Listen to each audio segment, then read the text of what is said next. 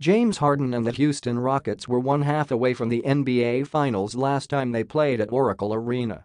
The way the Rockets are rolling now, they might just get another shot at the champs this postseason. The Rockets try to wrap up a perfect month at home Monday against Memphis, then visit Golden State for the first time since the Western Conference Finals, having recovered from a rough start thanks to Harden's torrid stretch. He has scored 40 points in three straight games and 35 or more in seven straight, the longest streak since LeBron James did it in nine in a row in 2006. The NBA scoring leader's quest to repeat as MVP is clearly on track. And after a poor start, so are the Rockets, 2015. They have won four straight and nine of their last 10 games overall and are 8-0 at home in December after dropping their first four games at the Toyota Center. Just like Game 6 of the West Finals, when they blew a double-digit lead, they will play at Golden State for Thursday's nationally televised game without Chris Paul because of a hamstring injury. But instead of what had been a shaky season getting worse, the Rockets have surged in his absence because of Harden. Somebody said the other day that we can only win if he scores 40.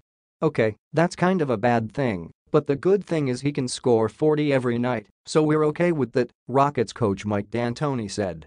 Tell him to keep going. New Year, old home. Kawhi Leonard's first trip of the new year is to his old home. The Toronto Raptors visit San Antonio on Thursday for what became one of the most anticipated games of this NBA season this summer, when the Spurs gave Leonard the exit he had been seeking, trading him to the Raptors. Leonard was the NBA Finals MVP when the Spurs won their last championship in 2014 and had become one of the league's most complete players by last season.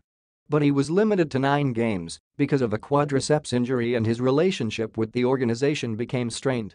The Spurs dealt him along with mainstay Danny Green to Toronto, getting all-star guard DeMar DeRozan back.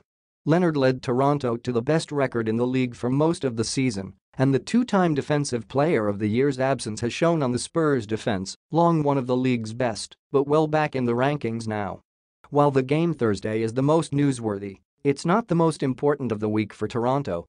The Raptors follow it Saturday by visiting the Milwaukee Bucks, who have inched ahead of them for the NBA's best record and have won both meetings this season.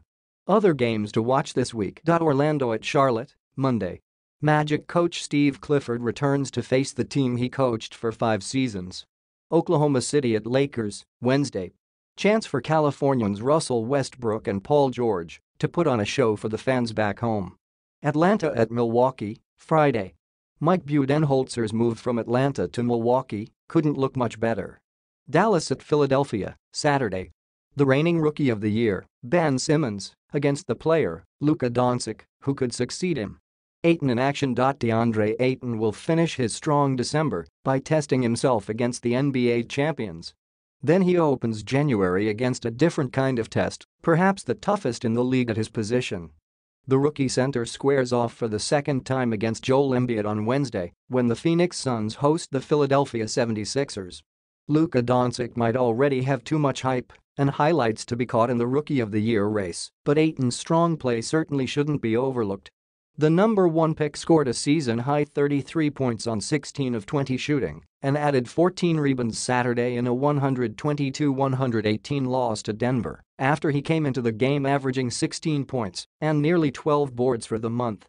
You can feel game to game he is getting better, coach Igor Kokoskov said last week. He is working on his game. He is a very dedicated player. It was just a matter of time.